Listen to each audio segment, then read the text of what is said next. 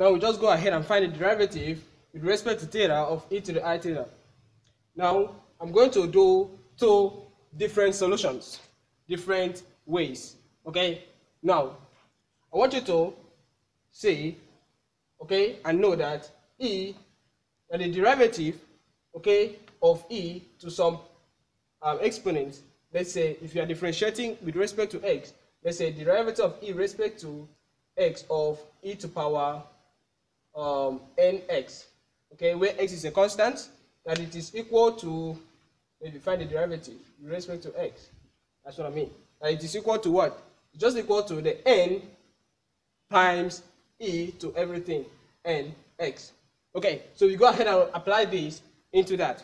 Straight up, you have that the derivative with respect to theta of that man right there, a to the i theta, you're going to have i times a to the i theta.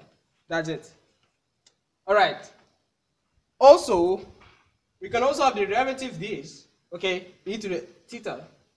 Now, we can notice here that e to the i theta is equal to cosine theta plus the i sine theta. That's the polar form of a complex number. So we just substitute that in there and we differentiate.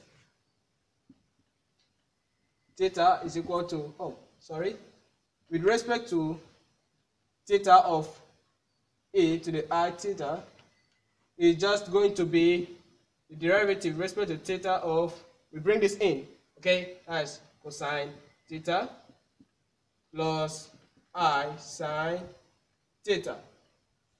So doing that, we're just going to have um, the derivative of cosine theta with respect to theta is what? It's just negative sine theta. And the derivative of sine theta, you know, where i is constant. The derivative of sine theta with respect to theta just cosine theta. That's plus i cosine theta. Now, this is the same thing as saying i times e to the i theta. All right. So this shows the derivative of e to the i theta.